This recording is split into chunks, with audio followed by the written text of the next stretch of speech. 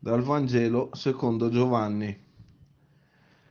In quel tempo Gesù, alzati gli occhi al cielo, pregò dicendo, Non prego solo per questi, ma anche per quelli che crederanno in me mediante la loro parola, perché tutti siano una sola cosa, come tu, Padre, sei in me e io in te, siano anch'essi in noi, perché il mondo creda che tu mi hai mandato e la gloria che tu hai dato a me, io l'ho data a loro, perché siano una sola cosa come noi siamo una sola cosa.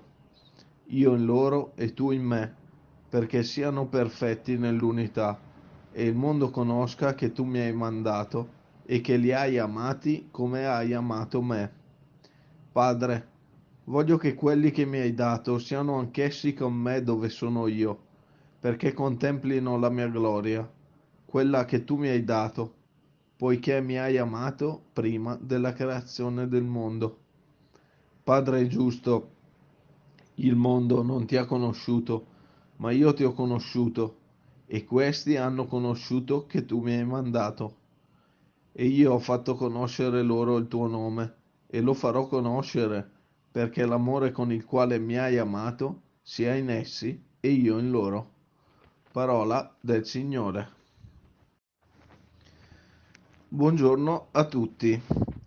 Questo Vangelo è fenomenale e bisognerebbe star qua a parlarne per un'ora buona e lo dico eh, sorridendo e quasi ridendo perché è troppo bello.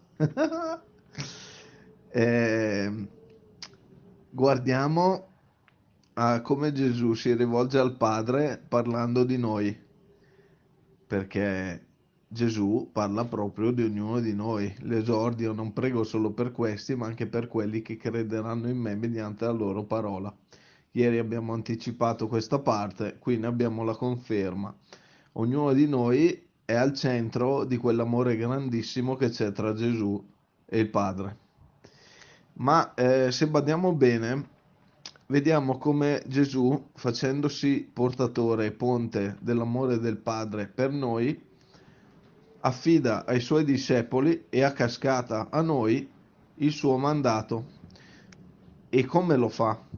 Lui dice, Padre, ti prego, amali, fai sentire loro il tuo amore, affinché essi siano la prova vivente che sei tu che mi hai mandato e che io sono proprio ciò che dico di essere, il tuo figlio.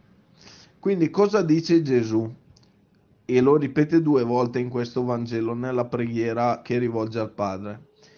Dice che la prova del fatto che lui è Dio vivo e vero, che lui è morto e risorto, che lui è via e verità e vita, da chi proverrà anzitutto? Non da una costante autorivelazione di sé diretta, ma nel corso dei secoli dall'amore che sprigionerà da coloro che crederanno realmente in lui. Un amore e una fede che trasformerà le vite di queste persone facendole diventare agli occhi del mondo la prova vivente della verità del Vangelo. È questo che è scritto nel Vangelo di oggi. Eh? Eh, facciamo molta attenzione a questa cosa perché questa è la conclusione della figura eh, che ho portato come, come, immagine che mi viene a pensare all'amore del padre e del figlio come due specchi con in mezzo noi. Noi che veniamo attraversati da questo amore che riflettendosi su ognuno dei due specchi continua a riempirci, riempirci e riempirci.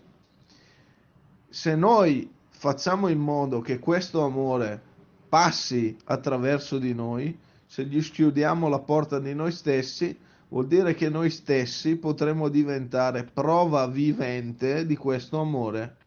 Ed è un miracolo clamoroso perché possiamo diventarlo nonostante i nostri limiti, le nostre difficoltà, eh, le nostre paure le nostre fragilità che non vengono meno, perché ricordiamoci, da quando Gesù si è fatto carne e ha affrontato la vita a fianco dell'umanità, finendo in croce e morendo torturato, perché è morto torturato, eh, per chi crede in lui, la scusa del fatto che esista la sofferenza non è più valida per dire che Dio non esiste, che tutto è casuale perché Dio stesso ha affrontato le stesse sofferenze, anzi spesso sofferenze ben più grandi di quelle che la maggior parte di noi affronterà nella sua vita, appunto le affrontate